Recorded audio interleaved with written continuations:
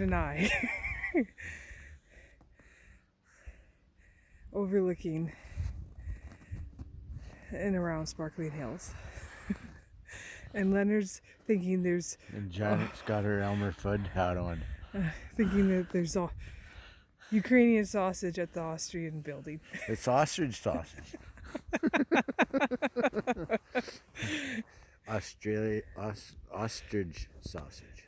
okay.